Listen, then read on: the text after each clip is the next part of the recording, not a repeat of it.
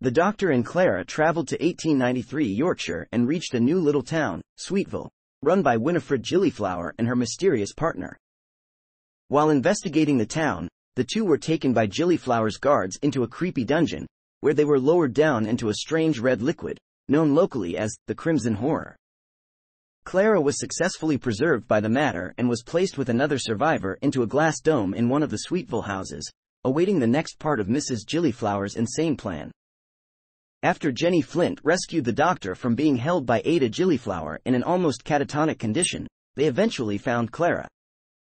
The doctor broke the glass, took Clara out and pulled her out of her puppet condition.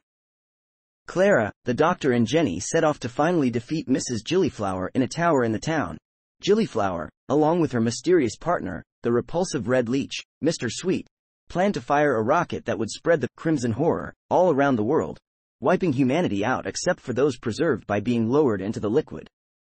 Clara broke a chair on Mrs. Gillyflower's control console, preventing her from triggering the rocket. After the crimson horror was safely removed from the rocket, Mrs. Gillyflower threatened to kill the doctor and Clara anyway. She was shot by Strax and fell to the ground, suffering fatal injuries. Mrs. Gillyflower died and Mr. Sweet was also killed by Mrs. Gillyflower's daughter, Ada.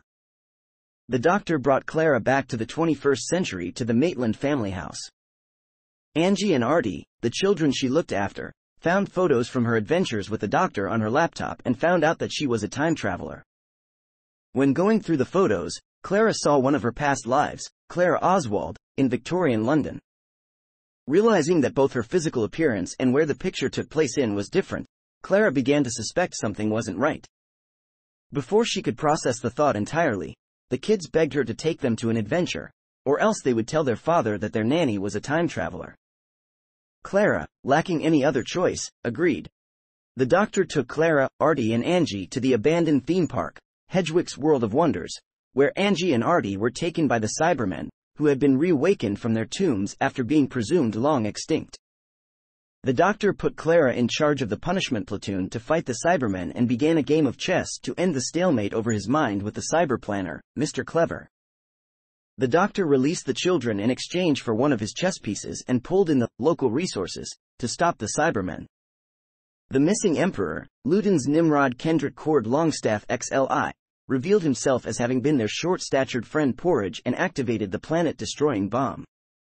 This summoned his spaceship, transmatting the humans on Hedgewick's world to safety while the Cybermen were left behind on Hedgewick's world.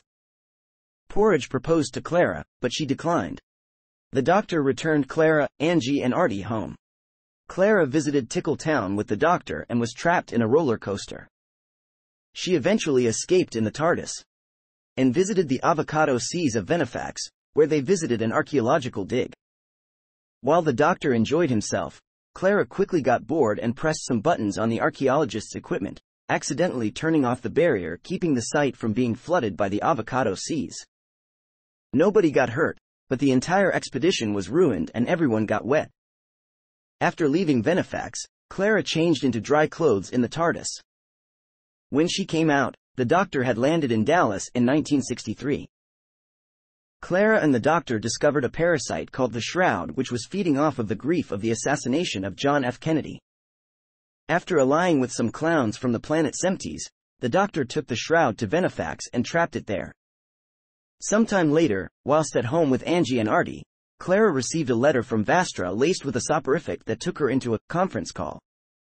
There, she learnt that the murderer Clarence DeMarco had said, The doctor has a secret, you know. He has one he will take to the grave. And it is discovered, and showed Vastra the coordinates to where the doctor's tomb was. The call was interrupted by the Whisper Men attempting to murder Jenny. River woke up Vastra and Strax, and the Great Intelligence appeared, using the face of Walter Simeon, to tell Clara that to save his friends, the doctor had to come to Trenzalore, the place of his grave. When she woke up from the conference, River stayed connected. Using the telepathic circuits to get the coordinates, the doctor and Clara went to Trenzalore, crossing the doctor's timeline. The Great Intelligence was waiting there and wished to enter the tomb of the doctor, a future, decaying version of the TARDIS. Entering the decaying TARDIS through a hidden passageway, Clara began to remember the events of a deleted timeline, in which the doctor told her about her multiple lives, causing her to panic slightly. They eventually made their way to the doctor's tomb, where the great intelligence demanded the doctor tell him his true name. When he refused, River uttered it, and the door opened. Inside the tomb, the intelligence entered the doctor's timeline, rewriting his history, changing all his victories into losses. The universe began decaying, all the people and civilizations saved by the doctor now destroyed. With no other choice, Clara did what she was meant to do, saying, Run. Run you clever boy, and remember me. She walked into the timeline as well, scattering herself across time and space. This action projected her across time, creating many other versions of her that saved the Doctor time and time again. Meanwhile, the 11th Doctor decided to jump into the timeline as well in order to save her.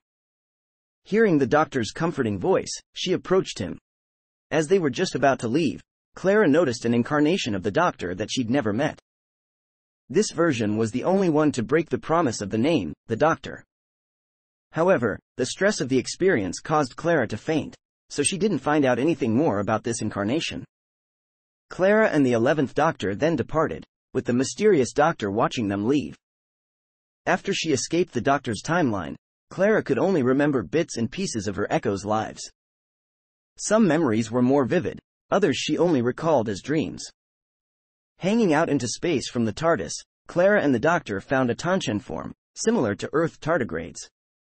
The Doctor told Clara that because the space between galaxies was so big, they were rarely seen, but each of the billions of macroscopic creatures out there were beautiful and unique, just like the trillions of microscopic ones on Earth. Soon after, they went on an adventure involving a dinner with alien robots, a small jewel-encrusted seashell stolen by Bozzy the Mysterio, and a chase across the snowscapes of Hollis 4. After the two had ended the Frogman Civil War, they were assaulted by Adam Mitchell who abducted Clara and placed her, along with all of the Doctor's other companions, in a suspended animation chamber. The companions were soon freed by Frobisher to fight off the Tremas Master's Auton army, with the doctor delighting in introducing Clara to Amy Pond and Rory Williams before Adam sacrificed himself to thwart the Master's plan. Along with the other companions, Clara attended Adam's funeral before she and the doctor resumed their travels. As a result of an accident caused by his fiddling with the TARDIS telepathic circuits, the doctor was left with the majority of his vast memory wiped as he and Clara were preparing to go on holiday. Using the 1200 year diary, Clara helped him remember his life. The doctor lamented that it was easier not remembering the people he had lost over the years, but Clara reassured him that he was a man who never ran from danger and had helped save billions of lives. Cheered up, the doctor put the TARDIS into flight as they proceeded to their holiday. One day, Clara awoke in a darkened and abandoned TARDIS, discovering herself to be in a spatial loop. Finding a button with a note that read, Do not touch, Clara decided that it was reverse psychology and pressed it, plummeting into a white void where she was rescued by the Skyjack and taken to Tipperary Station, a meeting point of several alien scavengers, where she reunited with the Doctor, who had been there for three years from his perspective.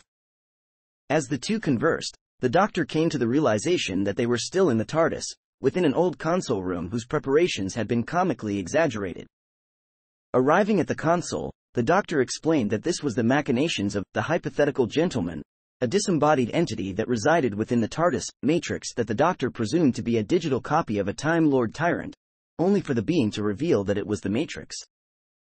After the Matrix explained how it became sentient, Clara, knowing that the Doctor was telepathically linked to the Matrix, took the initiative and stowed away on its craft, sabotaging it before the Matrix could cross the wormhole into the wider universe. The delay was enough for the Doctor to reset the TARDIS and trap the Matrix in a never-ending wormhole. After the aliens had all been returned home, Clara and the doctor joined the crew of the Skyjack at VJ Day in the Hawaii. The doctor later took Clara to Deadwood in 1882 where they crossed paths with Oscar Wilde and ran afoul of the doctor's old foe Escartris who had put Earth on trial. As Clara worked with Calamity Jane, they discovered that Wild Bill Hickok and many others were being resurrected. After thwarting this scheme, the two went off to Shoreditch. After a particularly stressful day of nannying, the doctor took Clara to Quipalta to relax only for both to fall victim to the psychic pollen of the local flowers, hallucinating an elaborate maze before Clara deduced the truth. Despite the danger, Clara was left exhilarated by the experience.